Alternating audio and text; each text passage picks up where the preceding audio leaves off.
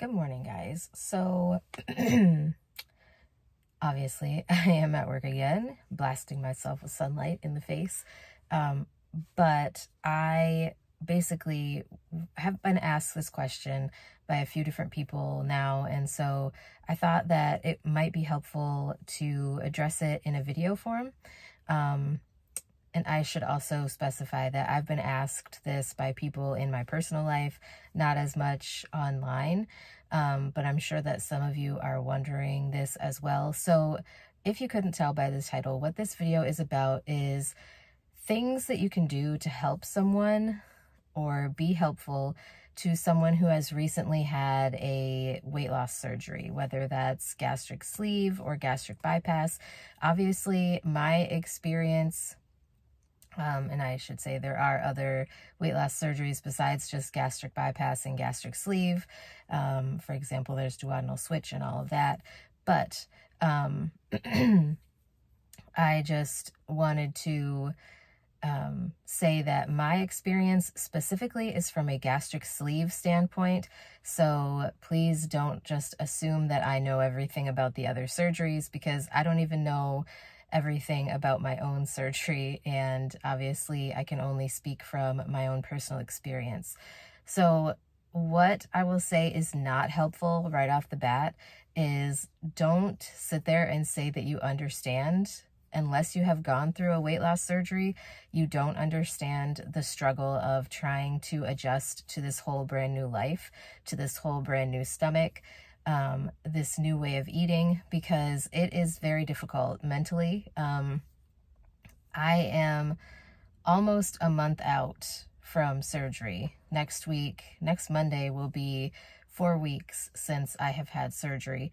And um, it seems like time is flying by, but at the same time, like I am still going through the different diet phases.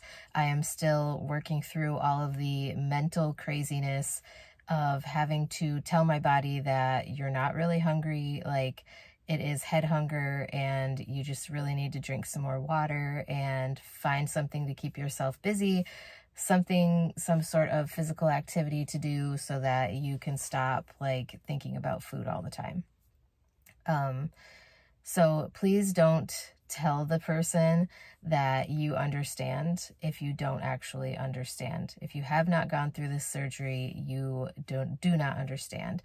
Don't try to tell the person that you will go on this diet with them. There's absolutely no reason why a person who has not gone through weight loss surgery should be following this diet. Now, I will say that if you want to eat the same things, so be it. Like, I'm not telling you you can't, but there's absolutely no reason why a person who has not had weight loss surgery should be doing this to themselves. Um, there is a physical reason why we can only eat as much as we can, and that's because a majority of our stomach is now gone. Um, as far as like purees and things like that, there's another reason. Like, because our body has to readjust to different foods, that is why we have to do these different phases to make sure that our body can handle certain foods again. So, you know, there's really no reason, unless you've gone through this surgery at the same time, for you to be following the exact same diet, eating the exact same things. Um, I will say that it is very helpful if you want to go shopping with the person. Um, my godmother has gone shopping with me a few times and helped me find different things.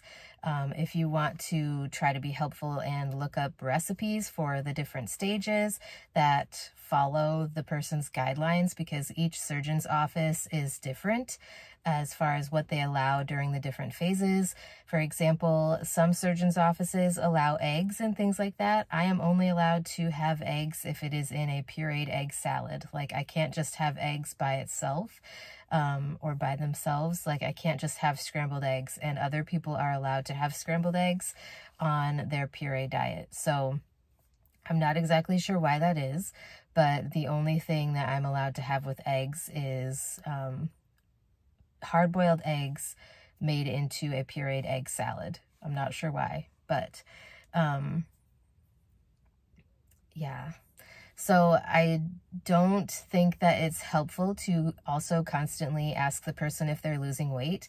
Um, they do tell us not to weigh ourselves um, consistently, especially at first, because like it is a little bit deceptive when you first start losing weight after surgery because um, you're losing a lot of water weight that you got from getting IV fluids while you're in the hospital and drinking liquids only or being on a liquids only diet. So um, it can be a little bit deceptive in that aspect.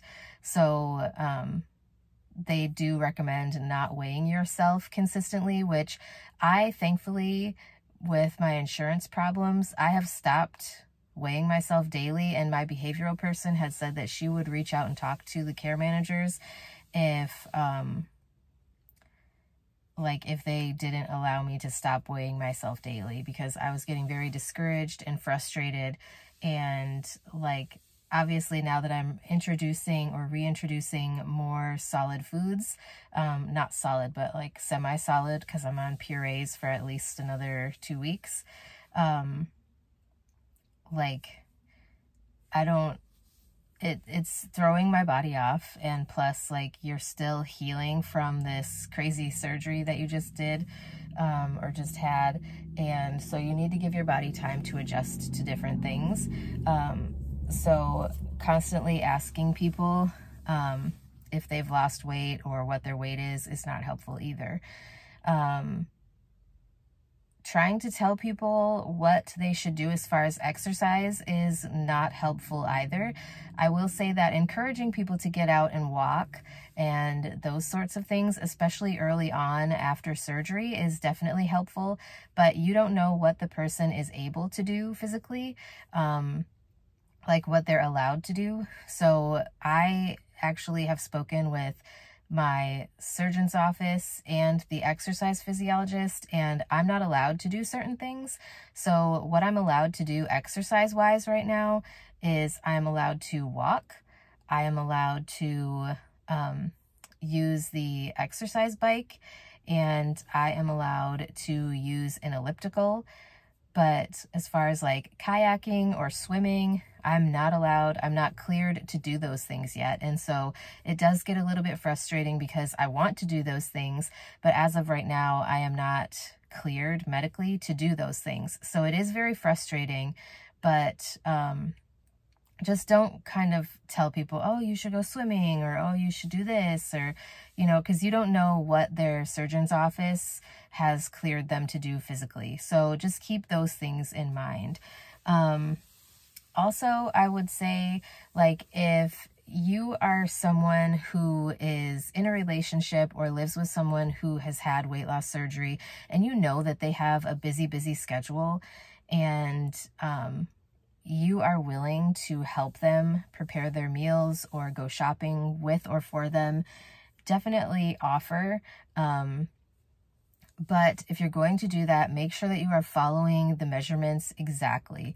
Um, so for example, I am only allowed to have a quarter cup serving of food when I eat solid foods. And so I need, like my godmother has prepared some things for me and she has gone over a couple times pre-op, um, not post-op because I showed her exactly how much I'm allowed to have and she has stuck to that but like pre-op she definitely gave me bigger servings than i was allowed to have. And so um i definitely keep that in mind that there is a reason why these limits are in place. And so you have to stick to those limits and measurements exactly um, because you can actually make somebody sick if you go over it. Um, you can cause problems. And so just keep in mind that if you want to help somebody that way and they allow you to help them in that way that um, stick to the exact measurements. It was very helpful when I switched to the pureed diet or transitioned or advanced, whatever you want to call it, to the pureed diet from liquids only. It was very helpful that my dietitian gave me a few pages of recipes to follow because it had exact measurements.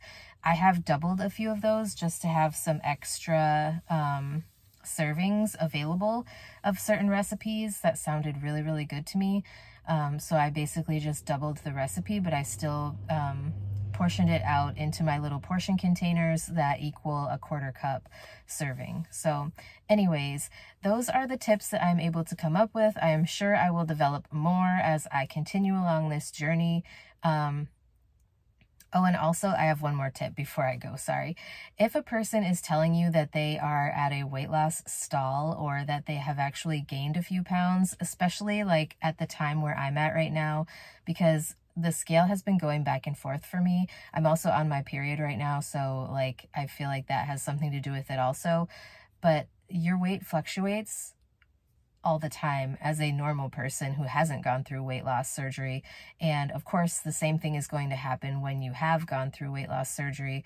So just keep that in mind. Like, if someone's telling you that, don't say, oh, well, you should do this or you should do this. Just tell them to keep doing what it is that they were told to do by the surgeon's office. Keep following the recommendations, keep following the guidelines, and doing everything they're supposed to do, drinking enough water, getting enough protein and following if they have calorie um, limits and things like that, following those and just continue to get exercise, physical activity, and it will happen. Um, it is very frustrating when they're going through it. Like right now, I am very frustrated with the lack of progress, and I've actually gained two pounds. Um, no, three pounds since getting my period, which is really a normal thing. Um, a lot of women gain weight during their period. So um, I'm just looking for that number to start going back down again. Um, so yeah, anyways, I just thought that I would share that with you guys. Um, if you have gone through a weight loss surgery and you have any tips to add, please leave them in the comments below. Like I said, I am sure I will come up with some more tips for helping people in your life who have recently gone through weight loss surgery um, or who have just gone through weight loss surgery in general. Um, and yeah, like I said, I'm only almost to the one month mark. And like, the scale is stuck right now and actually going up, which like I said is probably because of my period, but, but I have gone down to a size 12, 14 in pants and the day of surgery, I was in a size 20 in pants. So just keep that in mind.